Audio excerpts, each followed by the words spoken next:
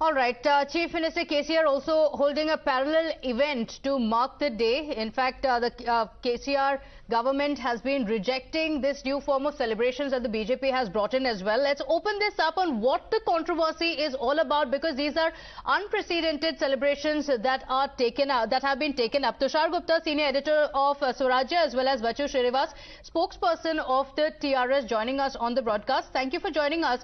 Mr. Vachu Srinivas, I want to ask you what is the opposition to calling it a Liberation Day? Why is the TRS and the AIM, MIM so opposed to it that you refuse to even be a part of these celebrations?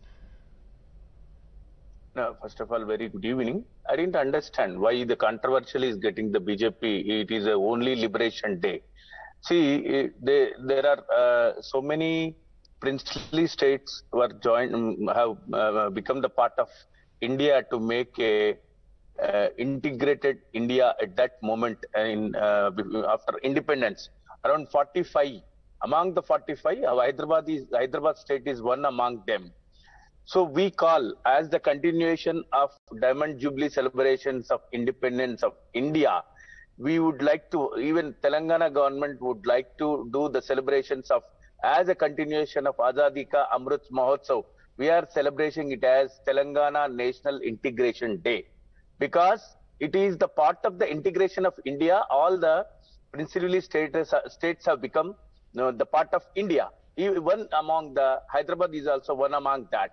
That that is the cause we are calling a, a Hyderabad integration, Hyderabad, uh, Telangana Why didn't the TRS government take up these celebrations before this? This is for the first time it's being celebrated at such a scale. In fact, the Chief Minister that has is, also on record said that there's no need to celebrate September 17th because we already have a Telangana Formation Day. So was there yeah, any correct. hesitation from the TRS not no. to celebrate the day?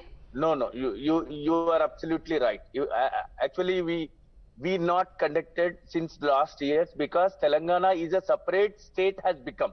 It, it is now the Hyderabad state is not there. Where Hyderabad is, as uh, just now we heard, the Hyderabad state is as an association of part of Maharashtra and part of Karnataka. This is all together called the Hyderabad state. Now there is no Hyderabad state. Absolute Telangana state has, has formed, which is a 60 years dream of Telangana people, which is separated in, in the leadership of Mr. KCR. So we are not celebrated as a, as, as I told very beginning, it is a continuation of a continuation of Diamond Jubilee celebrations of uh, Independence India. We are celebrating Hyderabad State celebrations also. Okay, but the accusation is that it is because of vote bank politics, because you don't want to upset a certain we community. That's why the celebrations were not taken up. I want to take this across to Tushar Gupta as well. Uh, Tushar, all this while the TRS has not celebrated the day and, uh, you know, the BJP has been saying that there's a reason why these celebrations were not taken up. But a similar charge also on the BJP now on whether it is trying to get a political mileage out of it, whether history yet again is being revoked because it wants to reap political benefits. Good evening, ma'am. See, it's not about history being revoked. It's about history being reminded in its truest form.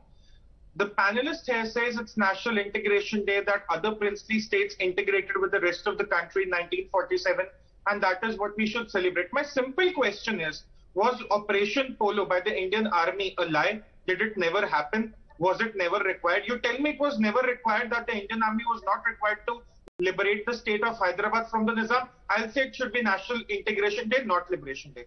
You tell me the Nizam back then did not approach the external powers to ensure that Hyderabad remains a free state because he did not want to join either India or Pakistan. No, he actually went out and sought the support of external powers. So let's not confuse ourselves by saying that this is an integration day, that the integration happened like what happened with other princely states. It did not clearly.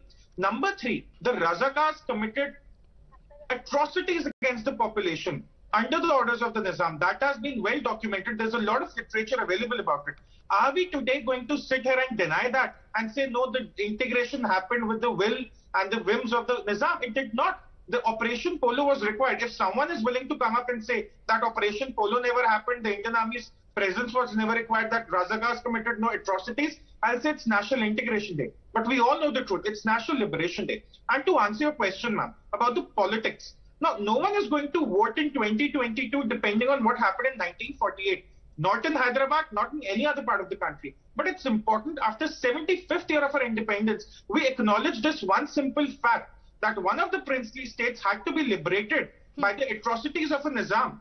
And now the TRS or the AIMIM do not want to acknowledge that because, of course, they trace their roots somewhat politically to that Nizam. So they are trying to play very safe when it comes to their vote bank. But the BJP sim just simply trying to correct the historical wrong. That is how we should see okay, it. But the AIMIM, uh, Tushar, has been saying that this is a form of villainizing the Muslims. In fact, uh, after the annexation as well, several lives were lost. The Sundarlal committee also saying over 27,000 to 40,000 lives of Muslims were also lost in the communal violence that broke out after the annexation. So would it be right to call it, uh, you know, a liberation day, one? And secondly, if the BJP is saying that the TRS or the AIMIM is too hung up on this, on this nomenclature, why not the BJP also have a conversation with the stakeholders, with the AIMIM or with, you know, the TRS? Because the Nizam's grandson himself has also said this, this is politics being played out over it.